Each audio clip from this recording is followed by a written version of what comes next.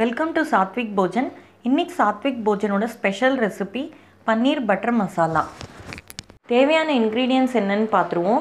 Two hundred grams paneer எடுத்துட்டுருக்கேன்.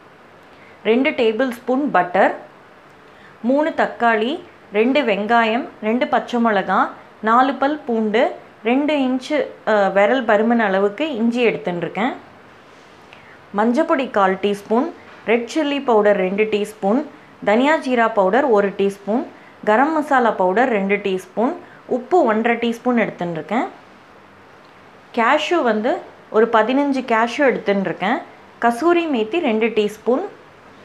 தாளிக்கிறதுக்கு பிரிஞ்சி இலை ரெண்டு ஒரு டீஸ்பூன் ஜீரகம் பட்டை ரெண்டு சின்ன பீஸு கிராம்பு ரெண்டு சின்ன பீஸ் எடுத்துட்டுருக்கேன் இப்போ வெங்காயம் தக்காளி எல்லாம் ரஃப்பாக சாப் பண்ணி வச்சுருக்கேன் இப்போ கட் பண்ண வெங்காயம் தக்காளி இஞ்சி பூண்டு எல்லாத்தையும் குக்கரில் சேர்த்துட்டேன். ட்ரை ஸ்பைசஸையும் குக்கரில் சேர்த்துட்றேன் அதுக்கப்புறம் முந்திரி பருப்பையும் நம்ம சேர்த்துடலாம். கசூரி மேத்தியில் பாதியை சேர்த்துக்கலாம். பாதி கார்னிஷிங்க்கு வச்சுக்கலாம். இப்போ இதில் அரை கப் தண்ணி சேர்த்து குக்கரில் வந்து மூணுலேருந்து நாலு விசில் விட்டு நல்லா வேக வச்சு எடுத்துக்கணும். இப்போ இதை குக்கரில் நாலு விசில் விட்டு எடுத்திருக்கேன்.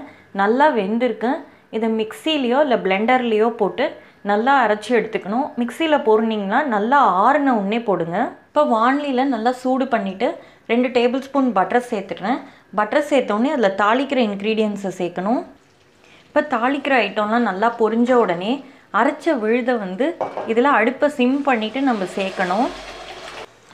இப்போ இது நல்லா கொதிச்சுன்னு இருக்குது இந்த மாதிரி கொதிக்கும் போது பன்னீர் க்யூப்ஸை வந்து நம்ம அதில் சேர்த்து இன்னும் ஒரு டென் டு ஃபிஃப்டீன் மினிட்ஸ் நல்லா கொதிக்கணும். என்ன இந்த கிரேவியில் இருக்க மசாலா உப்பு எல்லாமே பன்னீரில் வந்து சேரணும். அதுக்காக இப்போ பன்னீர் பட்டர் மசாலா நல்லா ஒரு நிமிஷம் கொதித்து நல்லா ரெடி ஆகிடுச்சு இப்போ இதில் வந்து கசூரி மேத்தி தூவி மேலே ஃப்ரெஷ் க்ரீம் தூவி அலங்கரிக்கலாம். இல்லை ஆப்ஷனல் வெறும் கசூரி மேத்தி கூட நம்ம யூஸ் பண்ணலாம். இப்போ நம்மளோட tasty paneer butter masala ready ஆயிடுச்சு. ட்ரை பண்ணி பாருங்கள் உங்களோட கமெண்ட்ஸ் என்னோட ஷேர் பண்ணிக்கோங்க. தேங்க்ஸ் ஃபார் வாட்சிங்